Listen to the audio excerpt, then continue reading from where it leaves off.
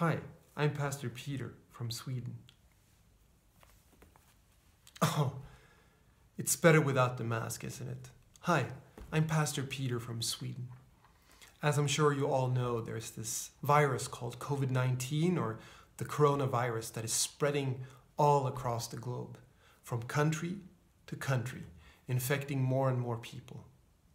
I'm not sure about the place where you live, but here in Stockholm, Sweden, everyday life has really changed. If you take the bus or the subway, some people are wearing a mask to keep from infecting others or being infected themselves. Workplaces are shutting down, some people are losing their jobs. Kids are staying home from school, maybe being taught via the internet instead. But the biggest change, I think, is the fear that many people are feeling.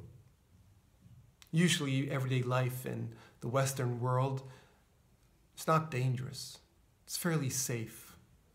We live in a peaceful country, we have enough food to feed our families. If we get sick, we can go to the hospital. We have affordable health care through the government. Everybody can afford to see a doctor.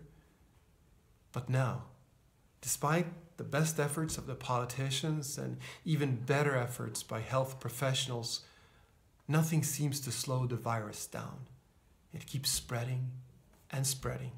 Like somebody said, it's like an invisible enemy. I'd like to share a section from the Bible with you today that talks about fear. It's about an instant where the disciples were really, really scared. It happens after Jesus has spent a long day teaching and healing people, and then they want to get away. In the Gospel according to Mark, in chapter 4, we read That day, when evening came, Jesus said to his disciples, Let us go over to the other side. Leaving the crowd behind, they took him along, just as he was in the boat. There were also other boats with him. A furious squall came up, and the waves broke over the boat, so that it was nearly swamped. Jesus was in the stern, sleeping on a cushion. The disciples woke him and said to him, Teacher, don't you care if we drown?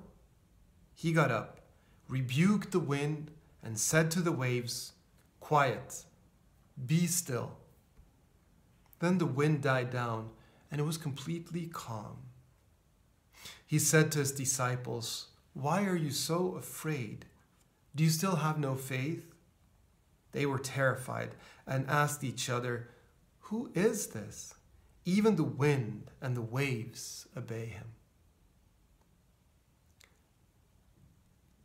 When the disciples were gripped by fear, the fear turned into panic. They were experienced fish, fishermen, some of them, but the waves kept crashing in over the boat, and the boat was filling up with water, and they realized that they were about to sink and drown. And then, in their fear, they cry out to Jesus, Teacher, don't you care if we drown? And Jesus' answer is peculiar. He says, Why are you so afraid? Do you still have no faith? Sometimes in our lives, we are gripped by fear. We are faced with a natural enemy like the weather or like a disease that we don't know how to fight against. And we feel very small and we feel helpless, maybe.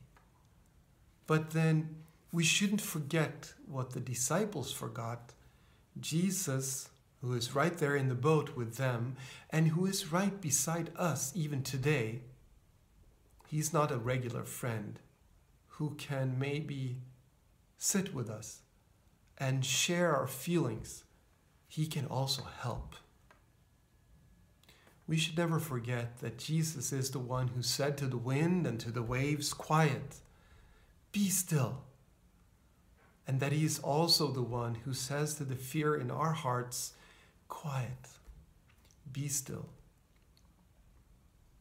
Trust me, Don't be afraid. I'm right here with you. I understand if you are afraid. I understand if you are concerned about your loved ones, about yourself, about the economy, about your job, any number of things. But you don't have to be afraid because Jesus is our brother and he is true God and he has the power to help no matter what our problem is. Thank you for spending time with me today and God bless your day.